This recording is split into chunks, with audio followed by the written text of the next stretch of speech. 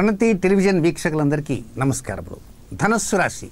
రెండు వేల పంతొమ్మిది సెప్టెంబర్ ఒకటవ తేదీ ఆదివారం నుంచి పదిహేనవ తేదీ ఆదివారం వరకు ఉన్నటువంటి తొలి పక్షంలో ధనురాశి జాతకులకి చక్కగా ఐదు పాయింట్లలో ముఖ్య సమాచారం తెలుసుకుందాం. సూచనలు ఏంటి? సలహాలు ఏమిటి? పరిహారాలు ఏమిటి? ఇక మొదటి పాయింట్కి వస్తే ఒకటవ తేదీ ఉదయం నుంచి నాలుగవ తేదీ సాయంత్రం నాలుగు గంటల పదిహేను నిమిషాల వరకు ఉన్న సమయం అంతా కూడా ఎనభై ఏడు శాతం అనుకూలప్రదంగా ఉంటుంది. అసలు గణపతి నవరాత్రులు ఏ విధంగా చేసుకోవాలి అనేటువంటిది ముందుగానే ఒకటవ తేదీ ఉదయం నిద్రలేచిన మొదలుకొని ప్రారంభం చేస్తారు. రెండవ తేదీ పండగ అయితే ఒకటవ తేదీ ఉదయం నుంచే దానికింత గానా భజన అంతా అక్కడ సిద్ధమైపోతుంటుందంటే.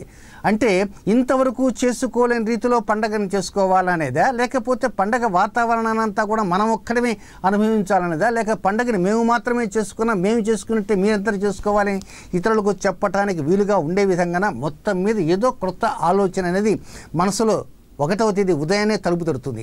ఎప్పుడైతే తలుపు తట్టడమే ఆలస్యం ఇంకా దానికి తగినట్లుగా పావులు కదుపుతుంటారు. మంచి అనుకూల పరిస్థితులతో నాలుగవ తేదీ సాయంత్రం నాలుగు గంటల పదిహేను నిమిషాలకు లబ్ధి బాగా వచ్చే విధంగా విధి విధానాల్లో మార్పులు జరుగుతుంటాయి.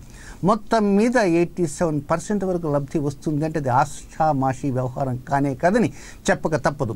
ఇక రెండవ పాయింట్ ఏమిటంటే నాలుగవ తేదీ సాయంత్రం నాలుగు గంటల పదిహేను నిమిషాల దగ్గర నుంచి ఆరవ తేదీ ఉదయం ఐదు గంటల వరకు ఉన్న సమయం అంతా కూడా ముందు నాలుగు రోజులు ఎంత సంబరంగా ఉన్నారో ఉన్న పరంగా చతికిలబడిపోతారు ఐదవది తేదీ అంతా కూడా ఎందుకు ఏమిటి అన్నీ అలా ఉన్నారండి కష్టపడ్డారండి ఏమిటంటే ఏమిటోనండి శరీరం ఇంట్లో ఏదో సుస్థి చేసిందండి అదండి ఇదండి ఏదైనా సరే కొంచెం గర్భ సంబంధంగా చిన్నపాటి లోపాలు వచ్చే అవకాశం ఉంది. స్త్రీలకైతే పురుషులకైతే ఏదో కడుపు నొప్పి రావటము లేకపోతే చిన్నపాటి వాంతులు లాంటి రావటము ఏదో కొంత ఉంటుంది.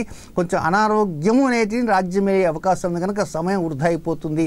ఆ సమయంతో పాటు డబ్బు వృధా అయిపోతుంది. డబ్బుతో పాటు కొంచెం అనారోగ్యం కూడా పెరిగే సూచనలు ఉన్నాయి. కనుక జాగ్రత్తగా వీలైనంత వరకు ముందు మూడు రోజులు కూడా అధికంగా తినకండి. వీలైనంత వరకు వినాయక చవితి రోజున ఉండ్రాలు కొంచెం దండ్ దట్టంగా తింటే ఆ తర్వాత దాని ప్రభావం అవతల రోజుల్లో ఉంటుంది. కనుక వీలైనంత వరకు పండగ రోజు చేసినటువంటి పిండి వంటలను కూడా వీలైనంత వరకు తక్కువగా తినడానికి ప్రయత్నం చేయండి. ఆ విధంగా చేయగలిగితే కొంతవరకు మేలైనటువంటి ఆరోగ్యం పొందటానికి అవకాశం ఉంటుంది. భగవత్ ప్రసాదం తీసుకోవాల్సింది తప్పదు మరి. కానీ అది విచ్చలవిడిగా తింటే కష్టం కదా. అందువల్ల ఏంటంటే కనుక గణపతికి చేసినటువంటి ఆ పదార్థాలని చాలా మితంగా తినడానికి ప్రయత్నం అంటూ చేయండి. ఎందుకు చెప్తానంటే ఈ విషయం చెబుతున్నానంటే గతంలో కూడా ఒక వ్యక్తికి ఇలాగ సలహా ఇస్తే ఆ వ్యక్తి చాలా వరకు కొంచెం హాస్యాస్పదంగా మాట్లాడడం జరిగింది. ఆ తర్వాత హాస్పిటల్కి వెళ్ళేసి అంత అయ్యి ఒక రెండు మూడు రోజుల తర్వాత బిల్లు చూస్తే తడిసి మూపడంత అయింది సో వీలైనంత వరకు ఏమిటంటే ఒకటి రెండు మూడు నాలుగు తారీఖుల్లో అనుకూలతలు ఎక్కువగా ఉన్నాయి గనక ఆ అనుకూలతలు వచ్చిన సందర్భంగా కొంత ఆకాంక్షలు పెరుగుతాయి గనక ఆకాంక్షలు పెరిగిన కారణంగా ఆసక్తి కూడా పెరుగుతుంది. ఆసక్తి పెరిగిన తర్వాత అనుభూతులు పొందాలనే ఉద్దేశంతో ఆత్రంగా తిన్న కారణంగా సమస్యలు అనేవి కడుపులో వస్తాయి. కనుక సో టేక్ కేర్. ఇక మూడో పాయింట్కి వస్తే ఆరవ తేదీ ఉదయం ఐదు గంటల దగ్గర నుంచి తొమ్మిదవ తేదీ రాత్రి పది గంటల వరకు ఉన్న సమయం అంతా చాలా ప్రశాంతం గడిచిపోతుంటుంది. ఏమిటి ప్రశాంతత? ఎందుకున్నారు ప్రశాంతత? అంటే తెలియని ప్రశాంతత. సమస్యల కట్టగా పోయిన ఉంటాయి సమస్యలు.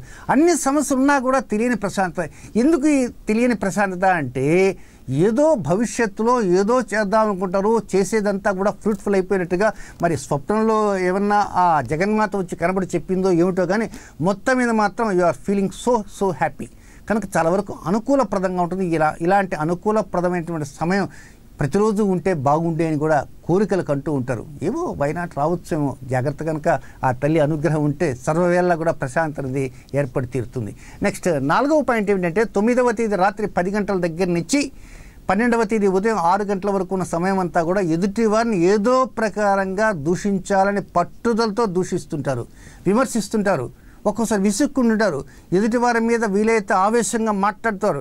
ఆవేశంగా మాట్లాడిన కదా కుటుంబంలో ఉన్నటువంటి వ్యక్తులందరినీ బెదిరింపుల ద్వారా కూడా ఒక్కోసారి ఏదో చేద్దామనేటువంటి ఆలోచనతో ఉంటారు. ఒక్కోసారి మీకు ఎదుటివారు మాట్లాడిన మాట్లాడిన ఇగో కూడా దెబ్బతినే అవకాశాలు ఉన్నాయి సో అదే సమయంలో డబ్బు కూడా అధికంగా ఖర్చు పెట్టే అవకాశం ఉంది.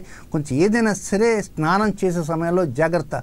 పొరపాటున ఎక్కడన్నా కొంచెం కాలు జరిగేటువంటి అవకాశాలు అంటూ ఉన్నాయి. కనుక వీలైనంత వరకు బాత్రూమ్లు చాలా వరకు ఎక్కడ జిడ్డు జిడ్డుగా లేకుండా శుభ్రం చేసుకోవడానికే ప్రయత్నం అంటూ చేయండి. ఇక నెక్స్ట్ లాస్ట్ పాయింట్ ఐదో పాయింట్ ఏంటంటే పన్నెండవ తేదీ ఉదయం ఆరు గంటల దగ్గర నుంచి పదిహేనవ తేదీ అర్ధరాత్రి వరకు ఉన్న సమయం అంతా కూడా సోదర సమన్వయం ఏర్పడుతుంది. అక్క చెల్లెలతో సంభాషణ హైలైట్ అన్నదమ్ములతో సంభాషణ ఇంకా హైలైట్ ఇంకా సోదర సోదరిని పిలుచుకునేటువంటి బయట ఉంటాయి కదా అలాంటి సంబంధాలు కూడా అన్నీ అనుకూలిస్తూ ఉంటాయి. ఎక్స్కర్షన్ కావచ్చు లేకపోతే ఇంకా ఇతర సంబంధమైనటువంటి ప్రదేశాలకు కనుక వెళ్ళాలనేటువంటి తలంపులు కూడా చాలా వరకు ఆశలు రేకెత్తిస్తుండే వెళ్ళాలనే తాపత్రయం పెరుగుతుంటుంది.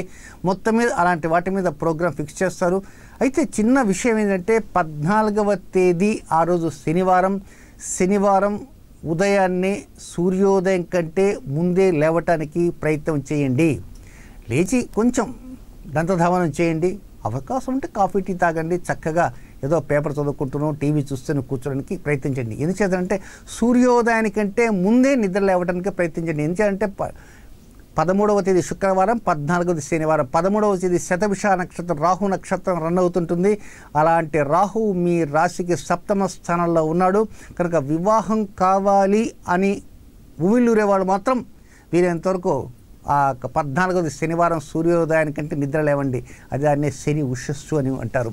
కనుక నిద్రలేచి చక్కగా వీలైతే స్నానం కూడా చేసి త్వరగా వివాహం కావాలి. అలాంటి యోగం వస్తే బాగుండు అని మనస్ఫూర్తిగా ఇష్టదైవాన్ని కూడా ప్రార్థన చేయడానికి ప్రయత్నం ఉంటూ చేయండి. మొత్తం మీద అనుకూల పరిస్థితులతో ముందుకు వెళ్ళటానికి అవకాశాలన్నీ అంది వచ్చినట్లుగా వస్తుంటాయి చిట్ట చివరి రోజుల్లో. నమస్కారం.